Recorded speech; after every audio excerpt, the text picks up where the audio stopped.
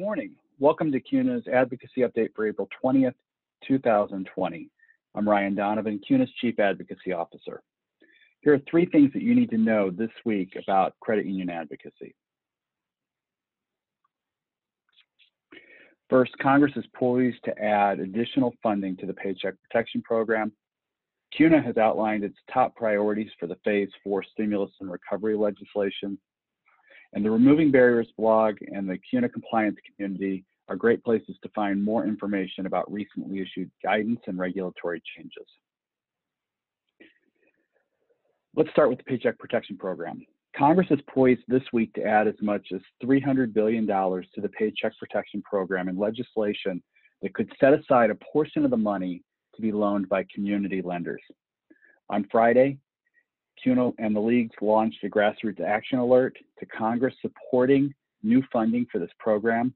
And on Sunday, we sent a letter to Congress urging the appropriation of as much funding as possible and supporting a set aside so long as it didn't slow down the delivery of funds to the program or complicate small lender participation in the program. Representatives Fred Upton of Michigan and Josh Gottheimer of New Jersey are organizing a congressional sign on letter with the same message as the CUNA letter. We've also been working to get improvements to the fund, including possibly the ability of small lenders to borrow from the fund the same as small businesses do. The policy changes aren't expected in the stopgap legislation, but it could be on the table in the phase four legislation Congress is expected to consider next month. Speaking of phase four, many in Congress are already working on the framework for the next round of stimulus and recovery legislation. That's why last week we sent letters to Congress commenting on provisions in a draft bill that was proposed by House Financial Services Committee Chairwoman Maxine Waters. We also outlined our concerns and our priorities for the next round.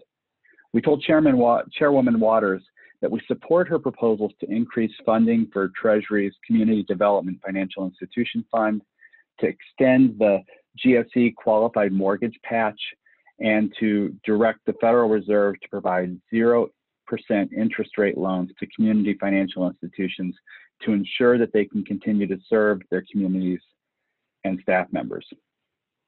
But we also outlined concerns that we have with provisions in her legislation that would prohibit overdraft and debt collection processes, as CUNA believes a broad ban on such services, even during this time, would ultimately impact the affordability of products and services. In addition, we put on the table additional policy proposals, including eliminating either permanently or temporarily the six transfer per month limit under Regulation D fixing the issues with the Paycheck Protection Program, such as the two-year loan term and, uh, and the issue related to lenders being borrowers. We called for Congress to enact legislation that exempts credit union business loans made during federally declared disasters and emergencies from the credit union member business lending cap.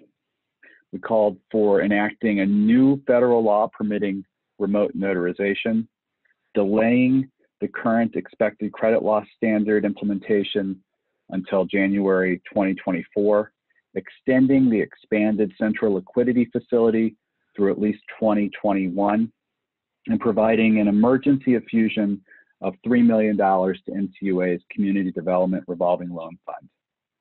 On Friday, Representative Brad Sherman introduced bipartisan legislation that would exempt credit union member business loans made during and for three years after the COVID 19 pandemic from the member business lending cap, and we strongly support that legislation. We expect the phase four legislation to take firmer shape after Congress re ups the Paycheck Protection Program later this week, and we'll be actively engaged in its development and its progress. Congress doesn't have a monopoly on all the action here in Washington. Regulators, including the CFPB, NCUA, the Department of Labor, and others are making changes to regulation in response to the crisis and to help credit unions serve their members. There are regulatory changes and, and, new guidance coming out just about every day. And just last week, NCUA put out a new regulation on the CLF. They finalized the appraisal rule. They made additional accommodations regarding appraisals during the crisis, and they provided other regulatory relief. NCUA also sent out a risk alert regarding cybersecurity and work from home. The CFPB issued a policy statement on remittances, and they also finalized their HMDA reporting thresholds. The CFPB also released some consumer-focused research that might be helpful to credit union members. And the Department of Labor issued guidance on the Families First Coronavirus Response Act. We've got a lot of information on these issues in this ad in the written advocacy update. Uh, but to stay on top of these and other changes, I encourage you to monitor both the Removing Barriers blog and the CUNA Compliance Community, which you can access on CUNA's website. Finally, the CUNA League COVID-19 survey remains open. This is an important tool that helps us tell the credit union story on Capitol Hill and with other policymakers. If you haven't done so already, please fill out the survey. It just takes a couple of minutes. And if you've already filled it out, maybe you did it a couple of weeks ago, uh, but you have new or you know, updated information, please fill it out again. We'll take care of keeping the data clean. I hope this update is helpful. If you have any questions or concerns during the week, please don't hesitate to reach out to me. Thanks for spending some time with me and have a great week.